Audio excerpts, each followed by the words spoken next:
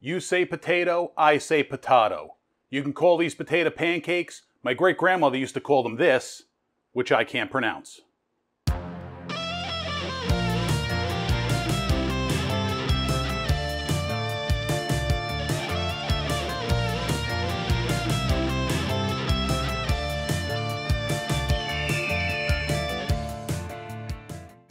So it doesn't matter whether you call these potato pancakes, latkes, this Polish word, whatever you call them, you have you have to call them delicious. You just have to because they are absolutely delicious.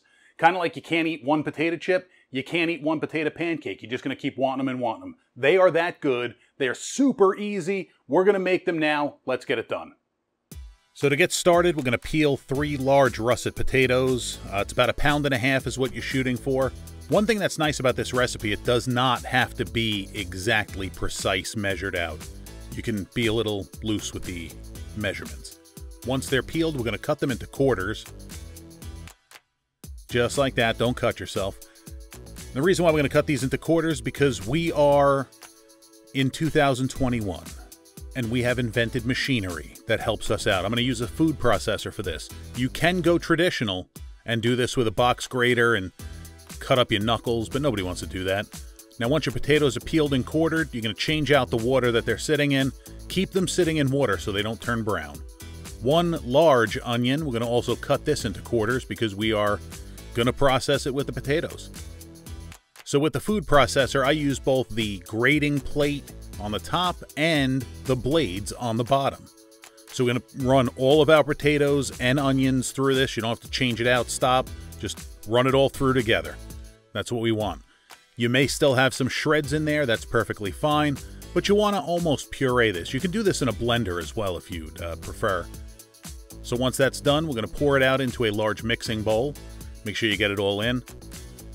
See, there's a couple of shreds, that's, that's fine. Not necessary to get rid of those. Keep them in. It'll all cook up and still be delicious.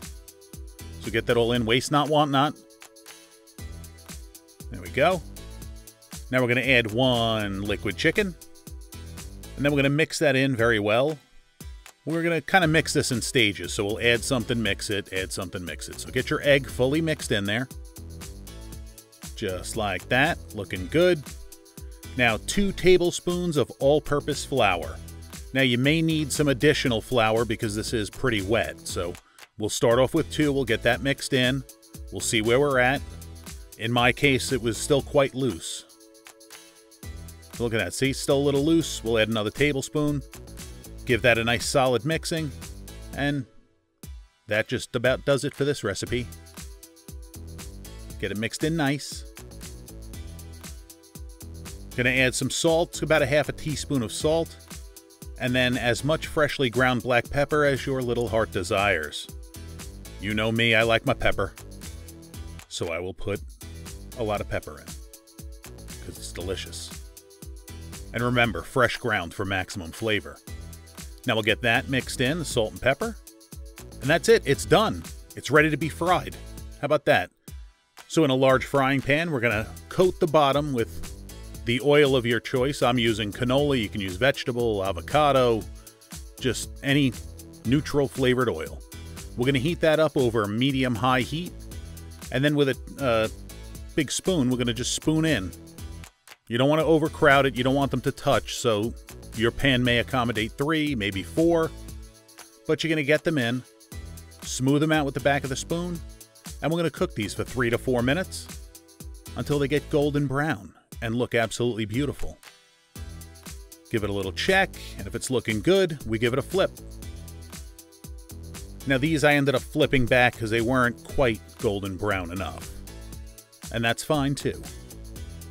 We'll give them all a flip and let them cook again, three to four minutes on that side, and then they should be absolutely perfect. Look at that. Look how golden brown and perfect those are. The crispy on the edges. They're amazing. We're going to drain them off on a wire rack or some paper towel, and then continue on till they're all done. Now look at this.